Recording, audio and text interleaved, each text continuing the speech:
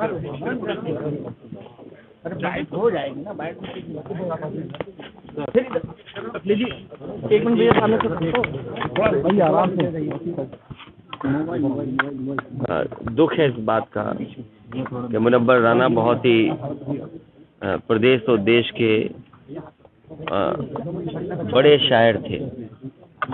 उन्होंने कई बार जो गज़ल या अपने लिखने के माध्यम से लोगों को जगाने का काम किया।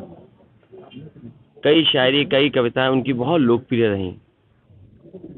और अक्सर जहाँ कहीं किसी कार्यक्रम में जाते थे जो उन्होंने माँ के बारे में लिखा वो अक्सर लोग सुना करते थे। आपका मैंने खुद देखा है कि कई कार्यक्रमों में बार बार उनसे कहने के लिए और सुनने का उनसे हमेशा निवेदन करते थे। उस पीढ़ी के एक शायर को समाज ने खोया है। ऐसे शायर कम आते हैं, जो कई मौक़ों पर बहुत स्पष्ट होते हैं।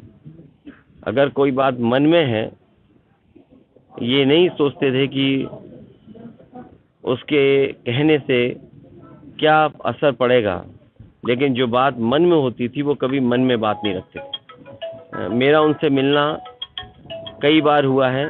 छत अब कैसे पूरी होगी और हमें उम्मीद है कि पूरा परिवार मिल कर के रहेगा।